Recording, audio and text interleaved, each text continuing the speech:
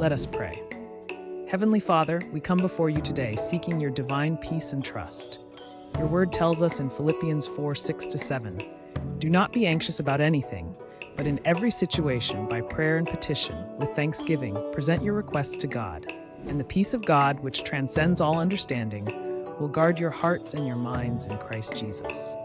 Lord, we present our worries and fears to you, knowing that your peace will cover us.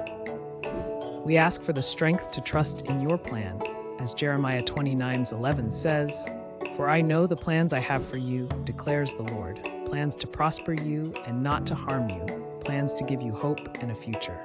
Help us to lean not on our own understanding, but to acknowledge you in all our ways, as Proverbs 3 5 6 encourages us. Fill our hearts with your serenity and our minds with your wisdom.